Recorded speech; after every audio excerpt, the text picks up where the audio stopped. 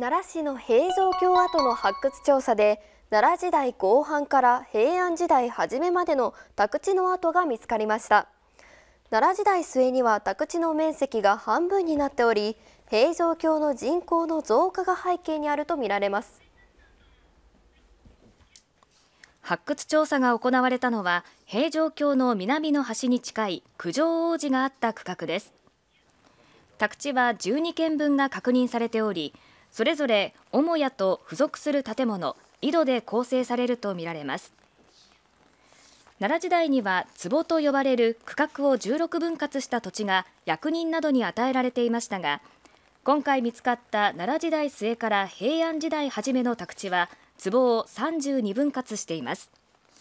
平城京の人口増加が続き宅地利用が変わったことを示す資料になるといいます。16分の宅地があの30半分になってますけどほんで